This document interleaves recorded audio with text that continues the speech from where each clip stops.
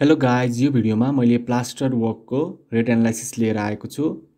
Question रहेको छ prepare rate analysis for twelve point five MM thick cement sand plaster one is to four in ceiling per ten metre square भनेको छ। अब के गर्नुपर्छ solution total quantity भनेको twelve point five into ten हुने भयो। Twelve point five MM into ten metre square यो भनेको twelve point five divide by thousand भइहाल्यो मिटरमा लाँदाखेरि इन्टु टेन भइहाल्यो। यो भनेको zero point one two five metre cube total quantity हाम्रो कति रहेछ त? Zero point one two five metre cube अब increase fifty two fifty five percent to get dry volume पचासदेखि पचपन्न पर्सेन्ट हामीले इन्क्रिज गर्नु पऱ्यो टोटल क्वान्टिटीलाई अब ड्राई भोल्युम अफ मोटर भनेको zero point one two five into one point five five fifty five percent increase गरौँ। त्यो गर्दाखेरि zero point one nine four metre cube आउँछ।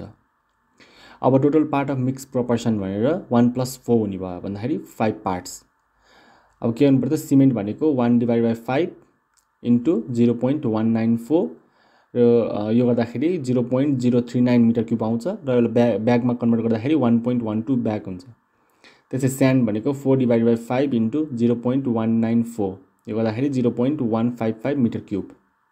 Water भनेको water content into bag of cement into fifty. Zero point five into one point one two into fifty गर्दाखेरि twenty eight litres आउँछ।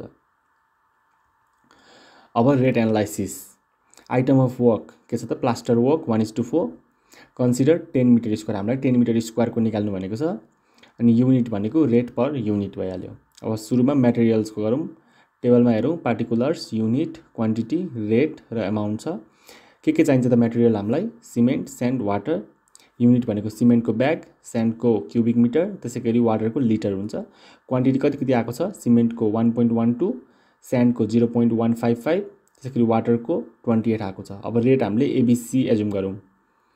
गर्दाखेरि amount भनेको quantity into rate हुन्छ। त्यो गर्दाखेरि सिमेन्टको one point one two A त्यस्तै स्यान्डको zero point one five five B र वाटरको ट्वेन्टी एट सी सेकेन्ड नम्बरमा लेबर कुन कुन लेबर हुन्छ त? स्किल लेबर र unskill labour skill labour one point five हुने भयो रेट एक्स मानौँ।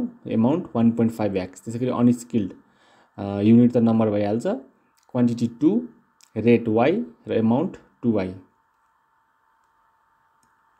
यो लेबरको यो क्वान्टिटी छ जुन वान पोइन्ट फाइभ र टू यो चाहिँ तपाईँहरूले याद गर्नुपर्ने हुन्छ।